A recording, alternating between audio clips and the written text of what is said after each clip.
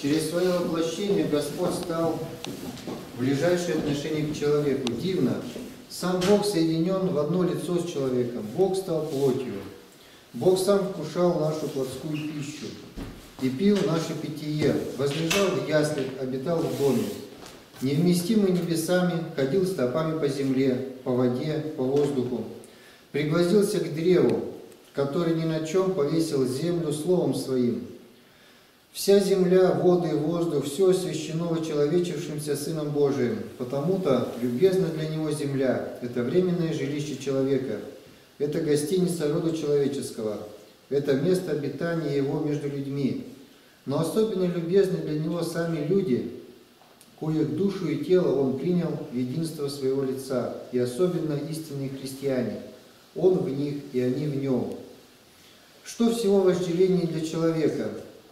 Избежание греха, оставление прощения грехов и стяжание святости. Почему? Потому что грехи, как, например, гордое, злое обхождение с ближними, злая мнительность, либо стяжание, скупость, зависть и прочее, разлучают нас с Богом. Источником жизни удаляют от общения с людьми и повергают нас в смерть духовную – а кроткое, смиренное, незлобивое обращение со всеми, даже с врагами нашими, простосердечие, нестяжательность, довольство малым и необходимым, щедрость ко всякому, доброжелательство и другие добродетельные поступки соединяют нас с Богом, источником жизни, и людям делают любезными.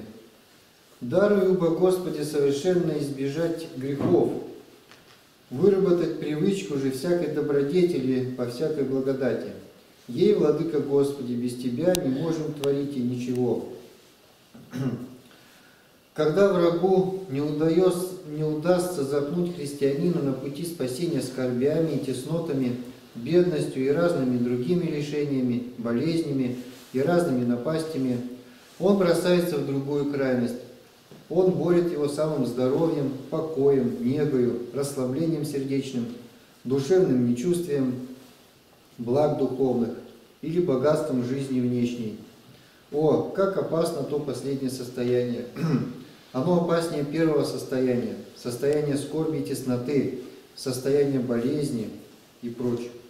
Тут легко мы забываем Бога, перестаем чувствовать Его милости, дреблем и спим духовно. И как жених замедлил, то задремали все и уснули. Евангелие от Матфея написано.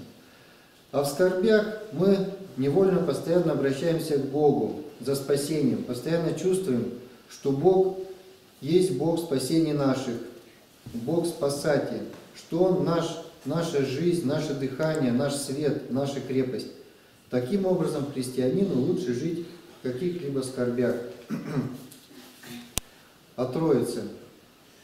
Как свет, воздух и вода находятся вместе и взаимно проникают друг в друга, и притом не сливаются, но каждый остается тем, что оно есть.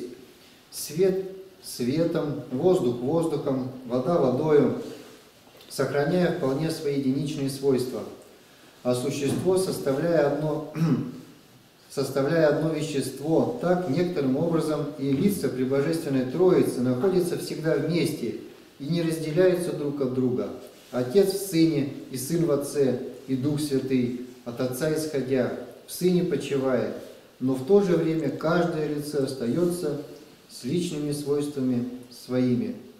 Бог Отец не рожден, не сотворен, не исходящ, Сын рожден, Дух Святый исходен от Отца, а существо у трех лиц одно, божественное, простое существо, это подобие основывается на словах самого Господа нашего Иисуса Христа, который себя называет светом мира, а о Духе Святом говорит, уподобляя его в действиях водяной стихии.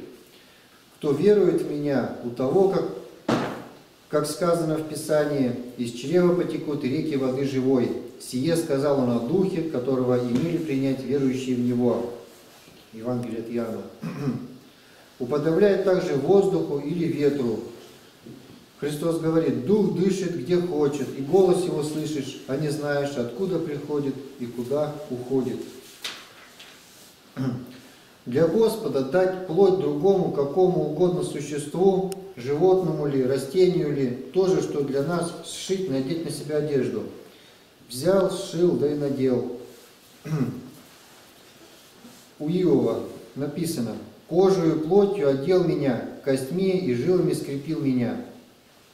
А какое бесконечное множество и разнообразие вещества-то у Господа, из которого Он, зиждитель, творит разные одежды на разные покрои тварям своим, животные, птицы, рыбы, насекомые, присмыкающиеся.